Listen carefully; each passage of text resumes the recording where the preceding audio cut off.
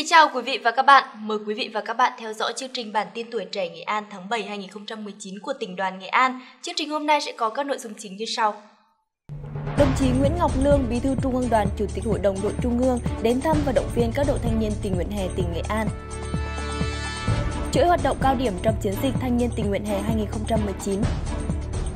Lễ ra quân chiến dịch Hãy làm sạch biển năm 2019 với chủ đề Tử tế với đại dương. Nhiều hoạt động ý nghĩa tri ân các anh hùng liệt sĩ thương binh nhân dịp kỷ niệm 72 năm Ngày Thương binh Liệt sĩ. Hội nghị sơ kết công tác đoàn và phong trào thanh thiếu nhi 6 tháng đầu năm. Toàn tỉnh hoàn thành đại hội Hội Liên hiệp Thanh niên cấp huyện nhiệm kỳ 2019-2024. Các cơ sở đoàn tiếp tục triển khai nhiều hoạt động có ý nghĩa,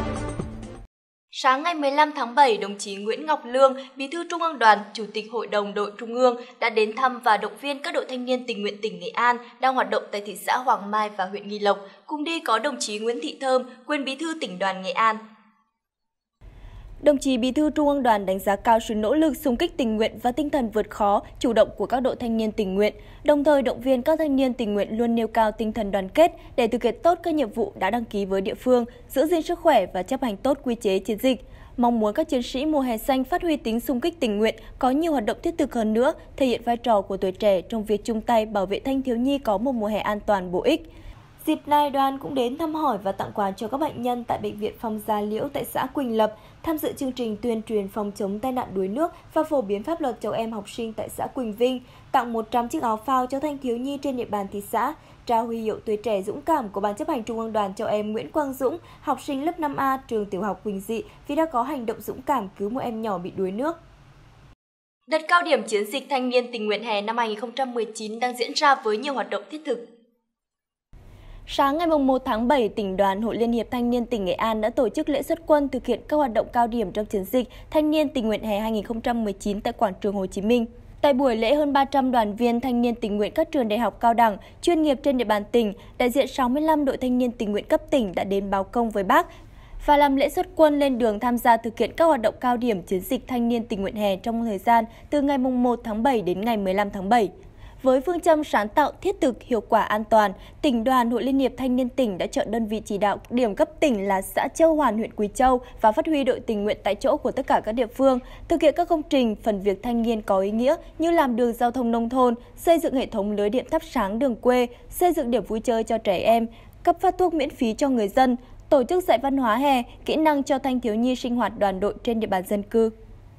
Tiếp đó, tối ngày 8 tháng 7, tỉnh đoàn, Hội Liên hiệp Thanh niên tỉnh Nghệ An đã tổ chức chương trình giao lưu những nẻo đường in dấu chân tình nguyện tại xã Châu Hoàn, huyện Quỳ Châu. Chương trình là dịp kỷ niệm 20 năm chiến dịch thanh niên tình nguyện hè và tôn vinh những chiến sĩ tình nguyện đang tham gia vào các hoạt động cao điểm trong chiến dịch hè 2019. Đêm giao lưu với nhiều tiết mục văn nghệ văn hóa được dàn dựng công phu và đặc sắc đã để lại nhiều cung bậc cảm xúc nhằm tăng cường tính đoàn kết, gắn bó giữa đội sinh viên tình nguyện với địa phương. Dịp này, tỉnh đoàn, Hội Liên hiệp Thanh niên tỉnh và các đơn vị đồng hành, Đoàn Thanh niên Công an tỉnh, đoàn các trường đại học, cao đẳng đã trao tặng một công trình thắp sáng đường quê, một sân chơi cho thanh thiếu nhi, hỗ trợ xây dựng hai sân bóng chuyền, 10 tấn xi măng xây dựng đường giao thông nông thôn, tổ chức khám phát thuốc miễn phí cho 500 bà con nhân dân, tổ chức tập huấn chuyển giao khoa học kỹ thuật cho 100 đoàn viên thanh niên huyện Quỳ Châu, tặng 20 xuất quà cho các hộ gia đình chính sách có hoàn cảnh khó khăn.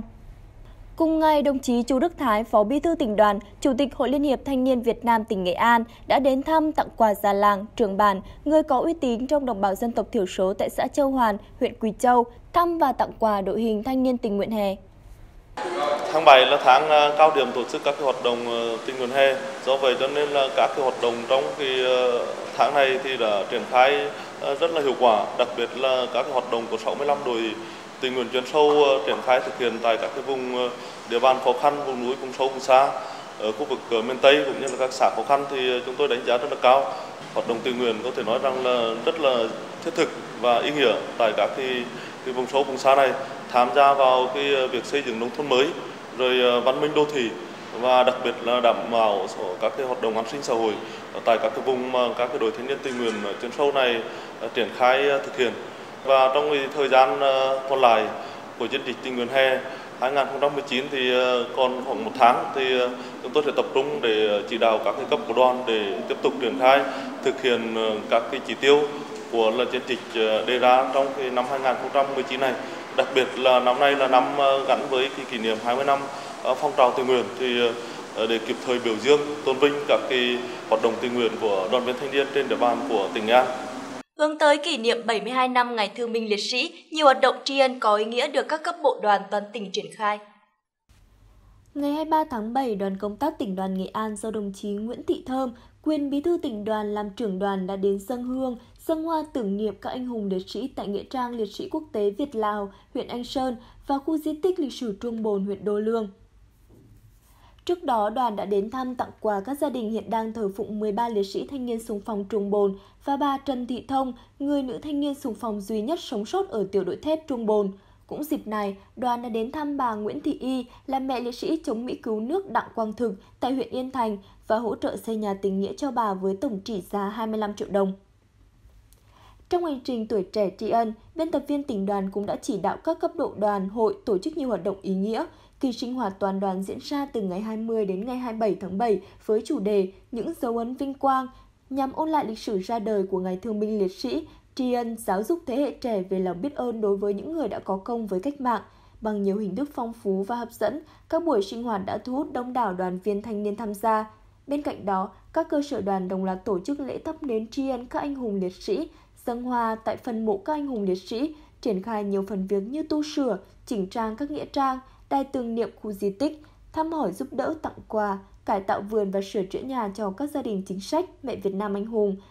Thông qua các hoạt động nhằm đóng góp phần giáo dục truyền thống cách mạng lòng yêu nước, tinh thần tự hào dân tộc, truyền thống đạo lý uống nước nhớ nguồn, đền ơn đáp nghĩa của tuổi trẻ tỉnh nhà.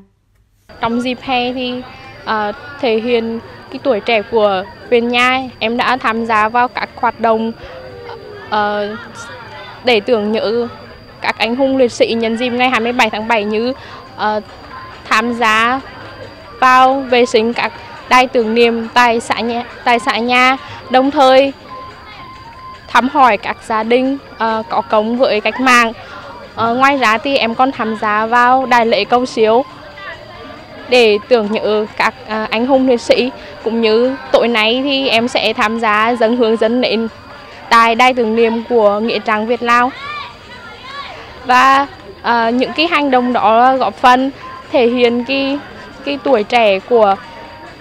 huyện nhà cũng như thể hiện cái sự biết ơn ghi nhớ đến những cái người đã hy sinh anh dũng để bảo vệ độc lập tự do cho đất nước. Sáng ngày 20 tháng 7, tại bãi biển Lạch Quèn, xã Quỳnh Thiện, huyện Quỳnh Lưu, đoàn khối các cơ quan trung ương phối hợp với tỉnh đoàn Nghệ An tổ chức lễ ra quân chiến dịch Hãy làm sạch biển năm 2019 với chủ đề Tử tế với Đại Dương. Tham dự chương trình có đồng chí Nguyễn Duy Hưng, Phó Giám đốc Trung tâm Tình nguyện Quốc gia, đồng chí Lê Văn Lương, Phó Bí thư tỉnh đoàn và đại diện lãnh đạo huyện Quỳnh Lưu, đồn biên phòng Quỳnh Thuận cùng chính quyền địa phương. Cảng cá Lạch Quen, huyện Quỳnh Lưu là một trong năm địa điểm trên toàn quốc được Trung ương Hội Thanh niên Việt Nam chọn làm thí điểm mô hình về thu gom xử lý rác thải. Lực lượng nòng cốt tham gia chiến dịch là các đoàn viên thanh niên ở các xã vùng bãi ngang, bãi dọc trên địa bàn huyện, tiến hành các hoạt động vệ sinh môi trường biển ít nhất một tuần một lần. Ngay sau lễ ra quân, hơn 30 đoàn viên thanh niên cụm hoạt động số 2, đoàn khối các cơ quan trung ương cùng với 600 đoàn viên thanh niên huyện Quỳnh Lưu đã tổ chức các hoạt động thu gom rác thải, vệ sinh bãi biển và các khu vực bị ô nhiễm rác thải trầm trọng. Chiến dịch được ra quân với mục tiêu giảm thiểu tác động tiêu cực của ô nhiễm rác thải, bảo vệ môi trường biển, đồng thời tuyên truyền, nâng cao nhận thức cho cộng đồng về tác hại của biến đổi khí hậu đối với đời sống của con người. Chiến dịch thu hút đông đảo sự tham gia của đoàn viên, thanh niên, học sinh và người dân. Thời gian qua, Hội Liên hiệp Thanh niên tỉnh đã chỉ đạo 21 trên 21 đơn vị hoàn thành đại hội Hội Liên hiệp Thanh niên Việt Nam cấp huyện nhiệm kỳ 2019-2024. Đại hội Liên hiệp Thanh niên cấp huyện được tổ chức đảm bảo chất lượng các nội dung, thực sự là ngày hội của thanh niên, là diễn đàn quan trọng để thanh niên thể hiện trí tuệ, tinh thần sáng tạo và quyết tâm đóng góp sức mình cho sự phát triển của quê hương đất nước, góp phần củng cố và phát triển tổ chức ngày hội ngày càng vững mạnh, xứng đáng với vai trò là nòng cốt chính trị của Đoàn Thanh niên Cộng sản Hồ Chí Minh. Bên cạnh đó, hình thức tổ chức đại hội có nhiều đổi mới, sáng tạo, nhiều hoạt động bên lề đại hội hấp dẫn, ý nghĩa như trưng bày và giới thiệu các sản phẩm do thanh niên địa phương sản xuất, hoạt động hành trình về nguồn, sửa xe gây quỹ, thăm tặng quà các gia đình khó khăn chính sách, tổ chức cho thanh niên gặp gỡ, đối thoại với lãnh đạo cấp ủy, chính quyền cung cấp, tuyên dương khen thưởng các tập thể cá nhân có thành tích xuất sắc trong nhiệm kỳ hướng tới Đại hội đại biểu Hội Liên hiệp Thanh niên tỉnh Nghệ An lần thứ 6, nhiệm kỳ 2019-2024. Trong 2 ngày ngày 20 đến ngày 21 tháng 7, Hội Liên hiệp Thanh niên tỉnh Nghệ An phối hợp với Hội đồng Hương Diễn Châu, Trường Đại học Y Hà Nội, Hội Liên hiệp Thanh niên huyện Diễn Châu tổ chức khám bệnh cấp thuốc cho 1.000 người dân tại xã Diễn Trường, huyện Diễn Châu.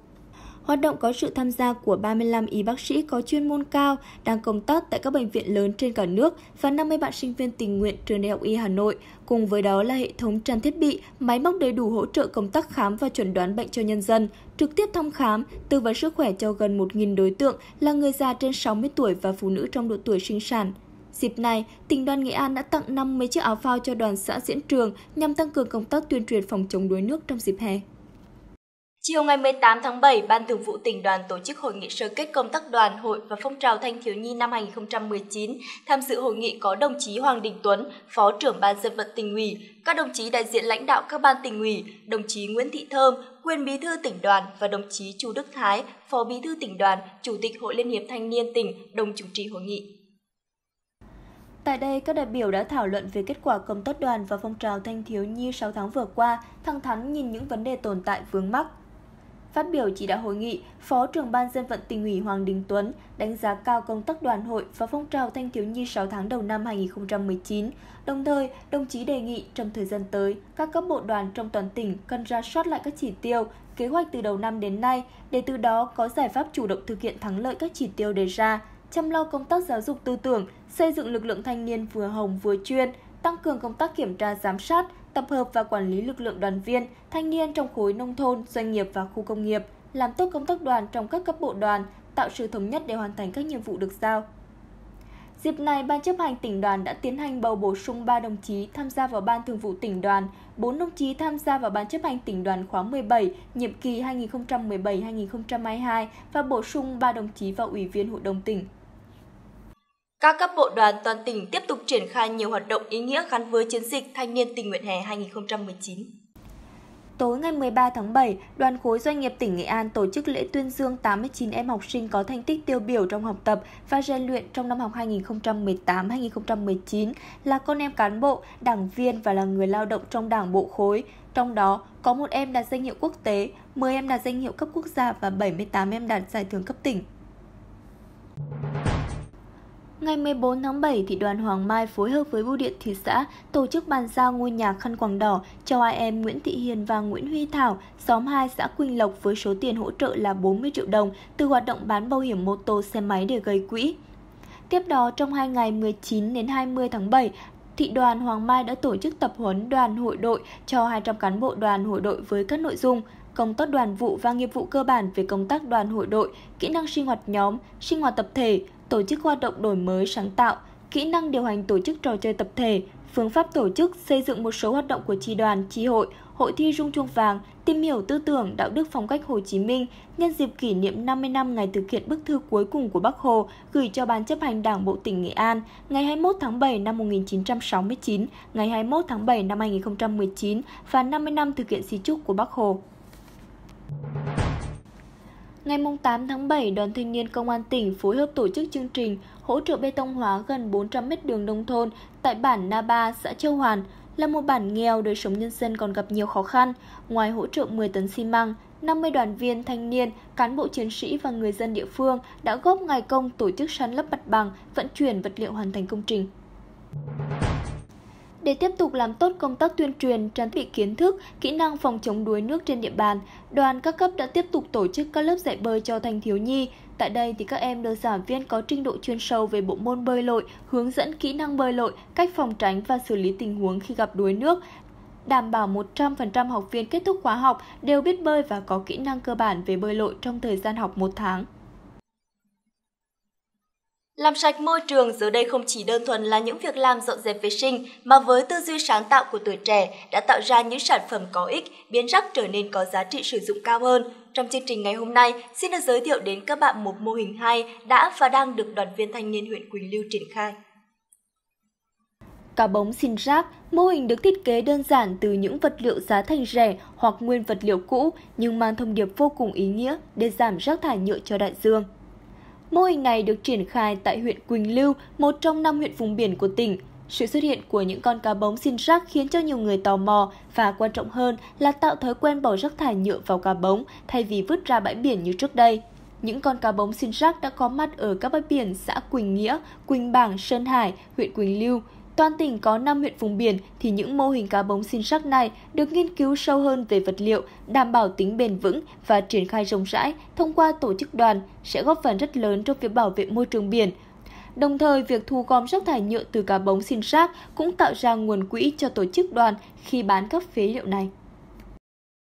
Bản tin tuổi trẻ Nghệ An đến đây là kết thúc. Xin cảm ơn quý vị và các bạn đã đồng hành cùng chúng tôi. Để xem các số tiếp theo của chương trình, mời quý vị vui lòng truy cập vào website www đoàn nghệ an.vn hoặc Facebook tỉnh đoàn Nghệ An. Xin cảm ơn công ty truyền thông Vinmedia đã tài trợ thực hiện chương trình này. Xin kính chào và hẹn gặp lại.